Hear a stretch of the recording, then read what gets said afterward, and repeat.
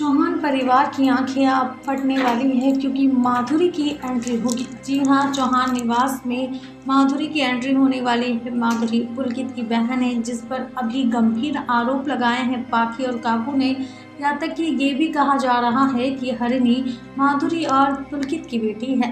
हालाँकि ये सारा सच नहीं है, बल्कि सारी सोची समझी कहानी है, जिस कहानी पर से पर्दा उठाने का काम सही करेगी और होली वाले दिन सही लेकर आएगी माधुरी और पुलकित को, जिससे रिश्ते का खुलासा हो जाए और साथ ही ये पता चल जाए कि जो चीज़ें चिट्ठी में लिखी थी, वो पूरी कहानी थी जिस कहानी को किसने बनाया था, इसका सच जब आएगा घर वालों के सामने तब क्या होगा। बाकी की तमाम डिटेल्स आप तक पहुँचा देंगे अपनी नेक्स्ट रिपोर्ट के ज़रिए।